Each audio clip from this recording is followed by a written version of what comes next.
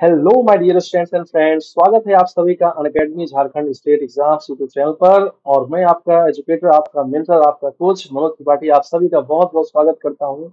सभी लोगों को नमस्कार है, सभी लोगों को बहुत बहुत जोहार है। और आइए जानते हैं झारखंड, जो कि प्रकृति का एक छिपा गहना है, इसके बारे में।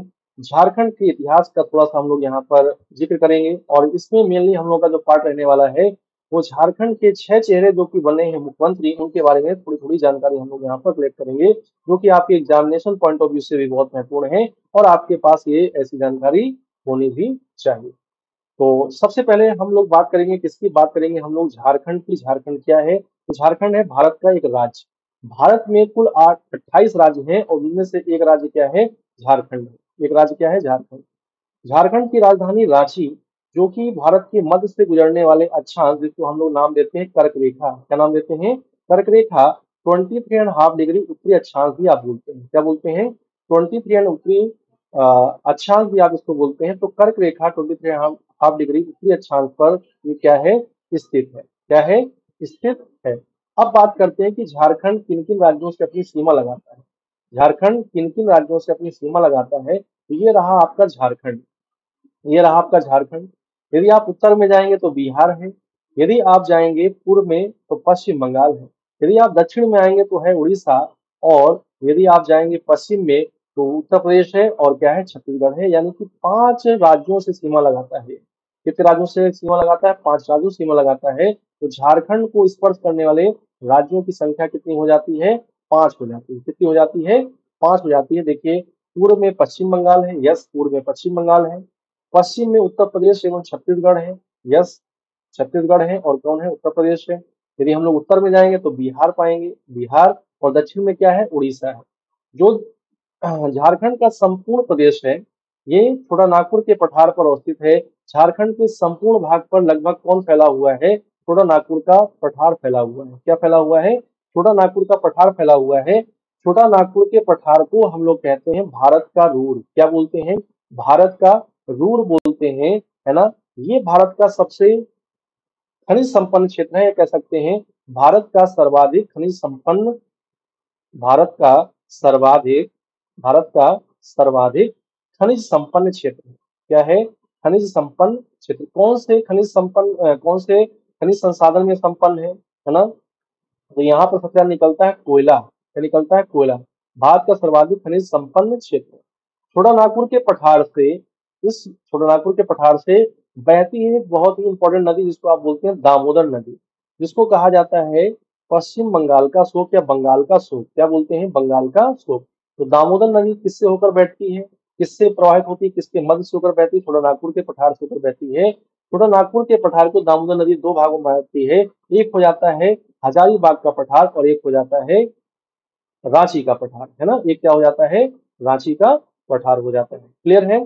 तो यहाँ से आपने इतनी बात सीखी इसके बाद हम लोग चलते हैं कि झारखंड है, इसमें आप देखेंगे, जो मैं बात कर रहा था, रांची, ये रांची है और ऊपर क्या है, हजारीबाग। तो यहीं से होकर क्या गुजरती है, यहीं से होकर दामोदर नदी बहती है। यहीं से होकर दामोदर नदी बहती है। झारखंड के शब्दों को यदि हम लोग संधि विच्छेद के रूप में देखें तो झारखंड में दो शब्द निकल कर आते हैं। एक है झार और दूसरा क्या है, खंड। झार का मीनिंग होता है जंगल। झार का मीनिंग क्या होता है, जंगल। और खंड का मतलब होता है क्षेत्र या भूमि। खंड का मतलब होता है क्षेत्र या भूमि। तो झारखंड का शाब्दिक अर्थ क्या बन जाएगा? वन भूमि। इसको आप कुछ समय तक के लिए वनांचल भी कहेंगे। क्या कहें इसको? कुछ समय के लिए आपने इसको वनांचल भी कहा है। छोटा नागपुर के पठार में बसा होने के कारण इसको छोटा नागपुर प्रदेश भी बोला जाता है। क्या बोला जाता है? छोटा नागपुर प्रदेश भी बोला जाता है। जंगलों को, जंगलों का प्रदेश जिसको कहा गया झारखंड को क्या कहा गया जंगलों का प्रदेश भी कहा गया झारखंड में झारखंड में एक जनजाति है जिसको आप बोलते हैं क्या? जिसको आप बोलते हैं कुड़ुक या फिर आप बोल सकते हैं ओराव। क्या बोल सकते हैं? कुड़ुक बोल सकते हैं या फिर ओराव बोल सकते हैं। कुड़ुक या ओराव भाषा में कुड़ुक या ओराव भाषा में जंगल को क्या कहा जाता है? जंगल को कहा जाता है तोरांग। क्या बोलते हैं? तोरांग बोलते हैं। तो ये भी आपके लिए एक इम्पोर्टेंट टाइप या इम्पोर्टेंट पॉइंट हो जाता है कि तोरांग किसे कहते हैं? तो तोरांग क्या है? कुड़ुक भाषा या ओराव भाषा का शब्द है। जिसका मीनिंग होता है जंगल। जिसका मीनिंग क्या होता है? जंगल। झारखंड में दो जगह है बहुत इंपॉर्टेंट एक है सिंहभूम झारखंड में एक जगह है सिंहभूम ठीक है? सिंहभूम ये बहुत इंपॉर्टेंट है। और एक है पलामू। एक क्या है? पलामू है। एक क्या है? पलामू। तो आपसे पूछेगा, पलामू नेशनल पार्क या फिर पलामू वन्य जीव अभ्यारण्य, ये कहाँ पर है? झारखंड में है। सिंह भूमि इसलिए फ़ेमस हो जाता है क्योंकि जो भारत में हाथी परियोजना की शुरुआत होती है। हाथी परियोजना की शुरुआत। ठीक है ना? हाथी परियोजना की शुरुआत यहीं से होती है। हाथी परियोजना की शुरुआत यहीं से होती है। कब होती है?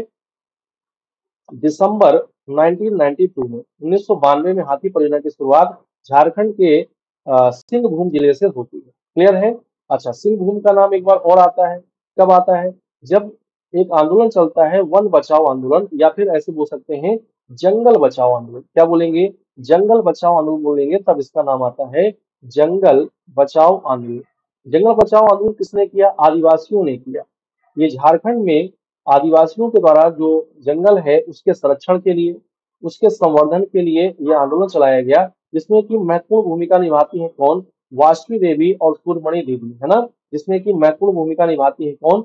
वासवी देवी और सूर्यमणि देवी। उसको भी आपको ध्यान रखना है, जंगल बचाओ आंदोलन कहाँ चलाया जाता है? तो झारखंड के आदिवासी क्षेत्रों में झारखंड के आदिवासी क्षेत्रों में जो जंगल का क्षेत्र है, उसको बढ़ाने के लिए, संवर्धन के लिए, उसके संरक्षण के लिए जंगल बचाओ आंदोलन चलाया जाता है, जिसमें कि महत्वपूर्ण भूमिका होती है किसकी? वासवी देवी है ना? किसकी होती है? वासवी दीदी कह सकते हैं और सूर्यमणि देवी की होती, किसकी होती है? सूर्यमणि देवी, है ना? सूर्यमणि देवी की होती है। इतनी बात आपको क्लियर रखनी है। एक चीज़ आपको क्लियर हो गई ना इतनी? अच्छा एक बहुत इंपॉर्टेंट है, बोकारो जगह। बोकारो धनबाद, ये बहुत इंपॉर्टेंट जगह है, ठीक है? बोकारो, धनबाद, ये किसके लिए फ़ेमस है? तो धनबाद में तो आपका आईआईटी धनबाद है। पहले यहाँ पर इंडियन स्कूल ऑफ़ माइंस हुआ करता था, ठीक है? भारतीय खंड औद्योगिक संस्थान यहाँ पर हुआ करता था, स्कूल हुआ करता था, लेकिन अब आईआईटी धनबाद हो बोकारो बोकारो में क्या है? स्टील प्लांट है। बोकारो में क्या है? स्टील प्लांट है। ये आपको ध्यान रखना है। क्लियर है ना? ये आपको ध्यान रखना है। ये है सिंहभूम जिला। ये है सिंहभूम जिला, जो कि दो पार्ट में बटा हुआ है। ईस्ट सिंहभूम और वेस्ट सिंहभूम ठीक है? पलामू को आप ध्यान रखेंगे, पलामू को आप ध्यान रखेंगे। क्लियर है? अब बात करते हैं हम लोग कि जो झारखंड है, इसका निर्माण कब होता है? तो झारखंड का निर्माण होता है पंद्रह नवंबर 2000 में। झारखंड किससे अलग होता है बिहार से। आप यदि नवंबर 2000 में जाएँगे, यदि आप नवंबर 2000 में जाएँगे तो तीन डेटें आपको ध्यान रखनी है। तीन डेटें आपको ध्यान रखनी है। एक नवंबर, नौ नवंबर और एक आपको याद रखना है पंद्रह नवंबर। आप सभी हैं कब? कहाँ पर? आप हैं नवंबर 2000 कहाँ पर है? नवंबर 2000 में। एक नवंबर, नौ नवंबर, पंद्रह नवंबर, इन तीन डेट्स में क्या होता है? भारत में तीन नए राज्यों का उदय होता है, तीन नए राज्य बनाए जाते हैं। एक नवंबर, नौ नवंबर और पंद्रह नवंबर। कैसे याद रखना है? छऊ से याद रखना। कैसे याद रखना है? छऊज, है ना? कैसे याद रखना है? छऊ से याद रखना है। छ से छत्तीसगढ़। छत्तीसगढ़ की स्थापना कब होती है? एक नवंबर को। छत्तीसगढ़ अपनी स्थापना दिवस मनाता है एक नवंबर को। ठीक है? नौ नवंबर को उत्तराखंड। नौ नवंबर को कौन हो जाएगा? उत्तराखंड बनाया जाएगा, ठीक है? और पंद्रह नवंबर को कौन बनाया जाएगा? ये बनाया जाएगा आपका झारखंड। ये बनाया जाएगा झारखंड। तो पहले से जो राज्य थे, उनसे ये नए राज्य बनाए गए। छत्तीसगढ़ का निर्माण हुआ मध्य प्रदेश से, उत्तराखंड का निर्माण हुआ उत्तर प्रदेश से, और झारखंड का निर्माण होता है बिहार से। और जैसे ही बिहार से झारखंड अलग कर दिया जाता है, वैसे ही बिहार के लोग क्या हो जाते हैं? बिहार के लोग परेशान हो जाते हैं, बिहार के लोगों में निराशा आ जाती है कि सारा खनिज संसाधन का जो क्षेत्र है वो झारखंड चला गया। सारा जो वनों का क्षेत्र था वो झारखंड चला गया। तो झारखंड को कुछ समय के लिए वनांचल भी कहा गया। क्या कहा गया? वनांचल भी कहा गया। तो बिहार से झारखंड जब पृथक हो जाता है तो वहाँ के लोगों में ये निराशा आ जाती है कि झारखंड में सिर्फ़ तीन बिहार में केवल तीन चीज़ें बची हैं। क्या बचा है? बालू, आलू और लालू। अब बालू क्यों बचा है? क्योंकि आपको ये पता है कि गंगा में मिलने वाली सभी सहायक नदियों में मैक्सिमम सहायक नदियाँ जो है, कहा मिलती हैं? बिहार में आके मिलती है। इसीलिए बिहार जो है फ्लड एरिया वाला क्षेत्र बन जाता है। बिहार में अधिकतर आप देखेंगे क्या है? बिहार में अधिकतर बाढ़ वाला क्षेत्र हो जाता है। तो झारखंड के अलग हो जाने से बिहार में इस प्रकार की निराशा आ जाती है। अब हम लोग यदि बात करें झारखंड की राजनीति की, है ना? तो झारखंड की राजनीति में हमेशा उथल पुथल रही है। झारखंड का, झारखंड में सरकारों का आना जाना हमेशा लगा रहा है। यहाँ पर राजनीतिक प्रयोग बहुत हुए हैं। यहाँ की जो विकास गति है, वो धीमी होने की वजह यही है, यहाँ पर कोई सरकार टिककर काम नहीं कर पाई है। राजनीतिक अस्थिरता के दबाव में जो झारखंड है, जितनी तेज़ी से विकास करना चाहिए था, उतनी तेज़ी से विकास नहीं कर पाया। झारखंड है तो भारत में सर्वाधिक खनिज संसाधनों से संपन्न राज्य, लेकिन ये पिछड़े राज्यों में आता है। किसमें आता है? छह राज्यों में आता है। तो इसका मेन सबसे रीजन जो हो जाता है, वो हो जाता है यहाँ पर सरकार का विकास के कार्यों में सुचारू रूप से, सही तरीके से संचालन न कर पाना क्योंकि कोई सरकार टिकी नहीं यहाँ पर। यहाँ पर केवल छह मुख्यमंत्री रहे हैं, लेकिन आप देखेंगे मुख्यमंत्री बहुत जल्दी जल्दी बदले हैं। केवल अभी तक आप देखेंगे कि एक मुख्यमंत्री ने पाँच वर्ष का टेन्योर पूरा किया ये बहुत बड़ी बात होती है कि 22 साल के इतिहास में केवल एक मुख्यमंत्री द्वारा क्या किया जाना, पाँच वर्ष का टेन्योर यानी कि कार्यकाल पूरा किया जाना, और आप यहाँ पर देखेंगे लगातार राष्ट्रपति शासन भी लागू रहा। यहाँ पर मुख्यमंत्री, जो छह मुख्यमंत्री बने, उनमें कई बार, तीन बार, कई बार, दो बार ऐसे मुख्यमंत्री बनते हैं। तो आइए जानकारी हम लोग प्राप्त कर लेते हैं कि कौन कौन रहे झारखंड के मुख्यमंत्रियों के रूप में चेहरे। ठीक है? तो सबसे पहले आप यहाँ पर इसके बारे में जान लेंगे कि 14 वर्ष बाद, यानी कि 2014 में, है ना? 14 वर्ष बाद 2014 में जब विधान विधानसभा चुनाव संपन्न हुए तो उसके बाद पहली बार लगातार पाँच वर्ष तक सरकार रहती है। और 2019 तक रहती है है ना? यहाँ की मुख्य जो पार्टियाँ हैं, उनमें भाजपा है, झारखंड मुक्ति मोर्चा है है ना? ये यहाँ की मुख्य पार्टियाँ हो जाती हैं, जो क्या कर रही हैं, जो बार बार बदल, उलट पलट कर इन्हीं की सरकार बन रही है, इन्हीं के मुख्यमंत्री के चेहरे सामने आ रहे हैं। सबसे पहला मुख्यमंत्री आपसे पूछता है, ये आपके झारखंड के जीके का बहुत इंपॉर्टेंट क्वेश्चन हो जाता है, कि झारखंड का पहला मुख्यमंत्री कौन रहा? बाबूलाल मरांडी। कौन रहे? बाबूलाल मरांडी रहे, भाजपा सरकार से रहे। इनका कार्यकाल रहता है 15 नवंबर 2000 से लेकर 18 मार्च 2003 तक। 15 नवंबर, डेट आपको याद रहेगी ना? 15 नवंबर, झारखंड का स्थापना दिवस। 15 नवंबर 2000 से लेकर 18 मार्च 2003 तक रहते हैं। और इनकी जो कंस्टिट्यूएंसी यानी कि जो आप कह सकते हैं विधानसभा क्षेत्र रहा, वो कौन सा रहा? रामगढ़ रहा। रामगढ़ से जीतकर इन्होंने क्या किया है?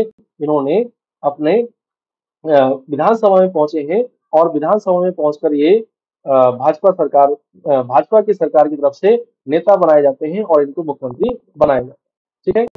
दूसरे मुख्यमंत्री के रूप में आते हैं अर्जुन मुंडा, जो किससे जुड़े हुए हैं? भाजपा जुड़े हुए हैं। और ये तीन बार मुख्यमंत्री रहते हैं। देखिए, तीन बार मुख्यमंत्री रहते हैं और इनका कार्यकाल आप देखिए 18 मार्च 2003 से लेकर 2 मार्च 2005 तक 18 मार्च 2003 से लेकर 2 मार्च 2005 तक 12 मार्च 2005 से लेकर 19 सितंबर 2006 तक। ठीक है? और इसके बाद 11 सितंबर 2010 से लेकर 18 जनवरी 2013 तक तीन बार ये क्या रहे, मुख्यमंत्री रहे और इनका जो कंस्टिट्यूएंसी यानी कि विधानसभा रही, जिससे जीत कर आए, वो क्या रहा? खरसावन रहा। क्या रहा? खरसावन रहा। तो अर्जुन मुंडा हो जाते हैं दूसरे, है ना? आप यहाँ पर नंबरिंग से देखेंगे तो नंबरिंग में बीच में कोई दूसरा भी आता है, लेकिन आपको याद रखना है कि छह कौन कौन रहे। तो पहले हो जाते हैं बाबूलाल मरांडी, इसको इसलिए ध्यान रखना है, क्योंकि तो आपका जीके क्वेश्चन है, छत्तीसगढ़ के सॉरी झारखंड के झारखंड के पहले मुख्यमंत्री, झारखंड के प्रथम मुख्यमंत्री आपको ध्यान रखना है। झारखंड के पहले मुख्यमंत्री हो जाते पहले मुख्यमंत्री हो जाते क्लियर है? बोलो हाँ या ना। झारखंड के पहले मुख्यमंत्री हो जाते हैं। क्लियर नेक्स्ट पर देखिएगा। अर्जुन मुंडा के बारे में मैंने आपको बता दिया। ठीक है? मुंडा जनजाति कहाँ पर मिलती है? मुंडा जनजाति आपको मिलती है कहाँ पर?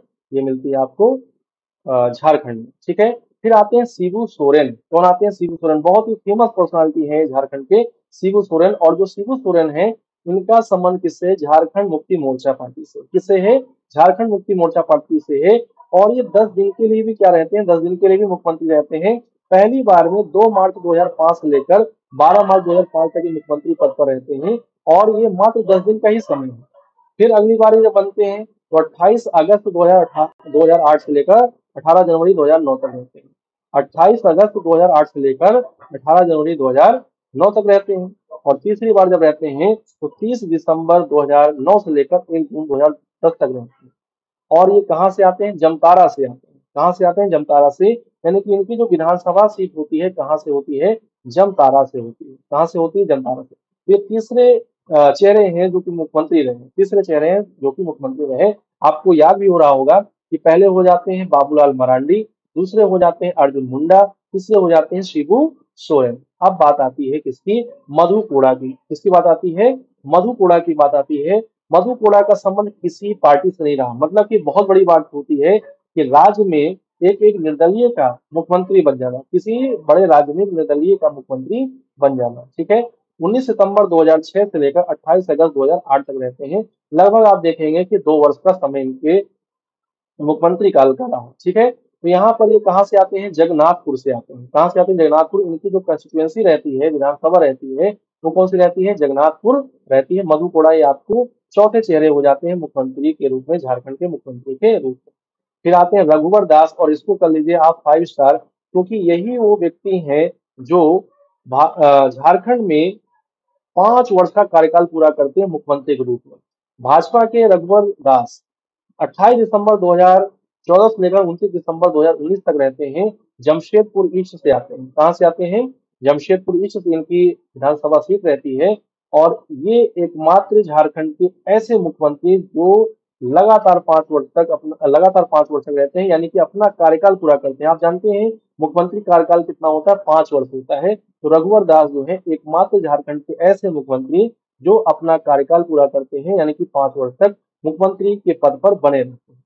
और इसके बाद आते हैं जो वर्तमान में भी मुख्यमंत्री हैं, झारखंड मुक्ति मोर्चा के हेमंत सोरेन, जो कि एक बार मुख्यमंत्री बनाए गए थे तेरह जुलाई 2013 से लेकर तेरह दिसंबर 2014 के बीच में। और अब ये वर्तमान में मुख्यमंत्री हैं 2019 से लेकर 29 दिसंबर 2019 से लेकर ये लगातार बने हुए हैं वर्तमान में। तो आशा करते हैं कि ये भी क्या करेंगे, ये भी अपना कार्यकाल पूरा करेंगे, यानी कि ये भी पाँच वर्ष तक लगातार बने रहेंगे। जब पहली बार ये आए थे मुख्यमंत्री मुख्यमंत्री पद पर आए थे तो इन्होंने दमका सीट से चुनाव जीता था। और फिर अभी जब दूसरी बार आए हैं तो बरहे सीट से ये चुनाव जीते हैं। इस प्रकार से ये हो जाते हैं क्या? ये हो जाते हैं झारखंड के मुख्यमंत्रियों के छह चेहरे। आप बहुत ही बेहतरीन तरीके से देखेंगे कि एक मुख्यमंत्री कितनी कितनी बार बना हुआ है। ठीक है ना? इसीलिए जानते हैं आप कि झारखंड में राजनीतिक अस्थिरता रही और झारखंड को एक सही दिशा नहीं मिल पाई। झारखंड विकास की पटरी पर नहीं दौड़ पाया।